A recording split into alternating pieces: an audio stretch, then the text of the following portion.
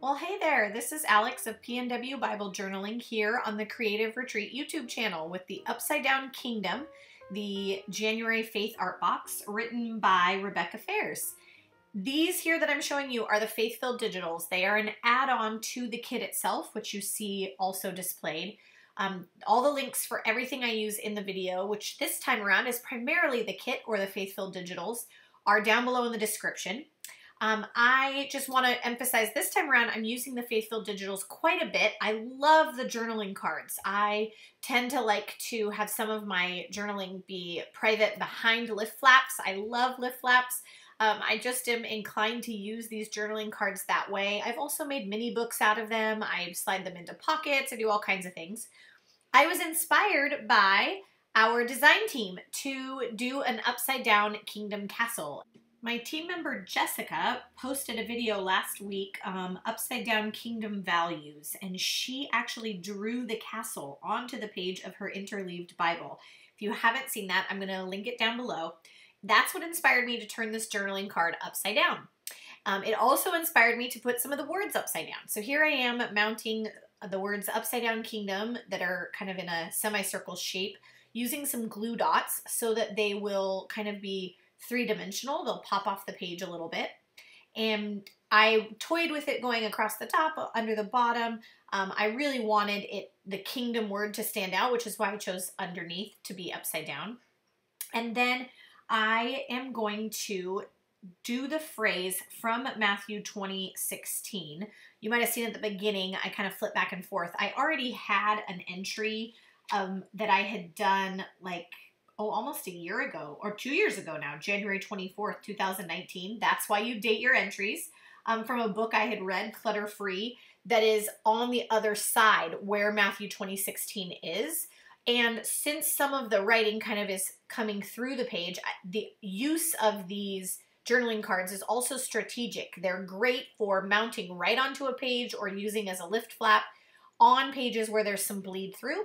Um, so that was intentional. I also have kind of done this staggered lift flap before um, where they kind of build on each other and I had wanted to, I toyed with that idea. This arrow sticker I just placed is one of my favorite stickers in the whole kit, which is so funny because it almost doesn't completely fit in with the design aesthetics, but it's exactly what this sentiment is of the first will be last and the last will be first, that it's upside down and flipped on its head.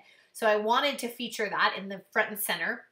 And then I used a stamp from the stamp set using first, last, last, first, and then the alpha stickers to fill in the words. I toyed a lot with, did I want to use a cursive word from the printables? Did I, on the very, like the very first word first and then the second word last, or the second time it's used? That's kind of a design choice. Ultimately, I wanted it all to fit on this sort of notebook paper feel um, journaling card.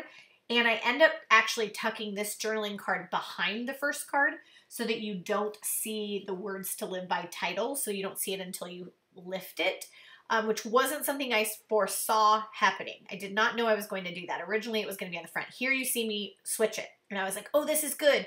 Because then you focus on the fact that it says Upside Down Kingdom.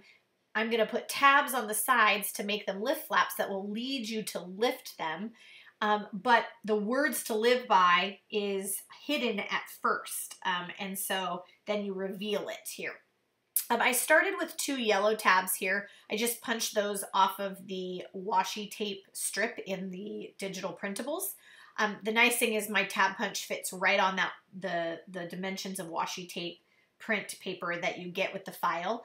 Um, you could also just do it off of the back of your devotional if you didn't get the faith-filled um, kits. And you could always just use scrapbook paper for to make these lift flaps. Here I'm using some washi tape I had on hand that really are is a perfect match for all the colors in the kit. You want to make sure to run your washi tape just shy of the top and bottom, otherwise they won't lift. So you see how they're short. They're not, they don't extend past the top and bottom of the flaps. And then I'm using the pattern paper that came in the digital kit to create kind of a swatch of color behind the lift flaps. Um, people call those tip-ins. Um, I did this because so much of the writing from the previous entry came through. You could scrape acrylic paint on this. You could do any number of things. Use some scrapbook paper. I love the coordinating um, paper that comes with it. Then I jump back to the Art Element sticker, and so when you lift the first flap, it says Upside Down Kingdom, and you lift it and it says, I am a kingdom citizen. And then I went back to verify what the scripture was, Matthew 2016, and how it was phrased. And I chose to write, the first will be last, the last will be first. And I went back and forth on if I wanted, um, how I wanted that to go. I chose that wording just because it was a complete sentence. Then behind the flap, I used one of the label stickers and put the word Jesus on it because I wanted Jesus to be mounted on white to really stand out.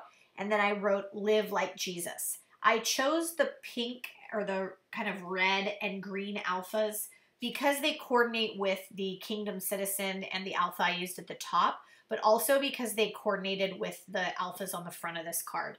You could do a collection if you wanted to do each word in a different color. You could totally play with this. I ended up changing the tab to be green. I wanted the yellow bow that I anticipate using at the top to stand out more. So that's why I changed that. I just remounted. Um, that green paper is actually from the back of the devotional. And then I used a sticker that came on the sticker pad, Words to Live By, which is the title of the video. I mounted it onto a tab that I had used on the previous page. It was a little lime green for my for my taste for this entry, but lime green went with the last one and it was a double-sided. So I used the sticker, Words to Live By, used a little washi tape and a heart sticker up at the top, and it really tied the yellow across the page. Um, and I love how that turned out. It also made a very sturdy tab at the top.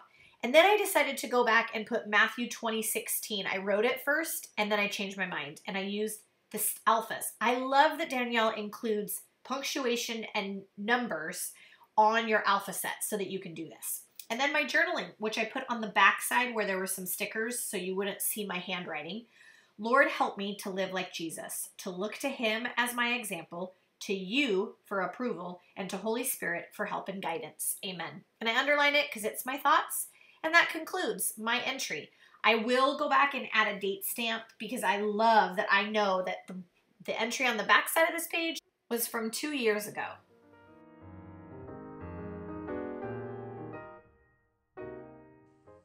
These lift flaps read Kingdom, Upside Down Kingdom, Words to Live By, the first will be last, the last will be first, Matthew 2016.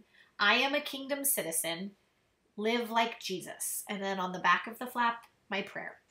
I hope you see that just by grabbing a kit or just by grabbing the printables, you have so much material to work with.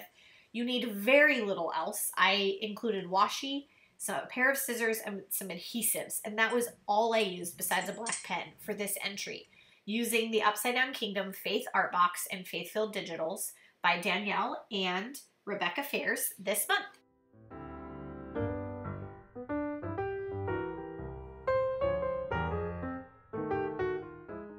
This is Alex of PNW Bible Journaling signing off.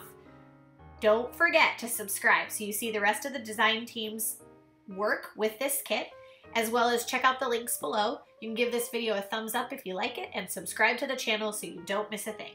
Happy Bible journaling!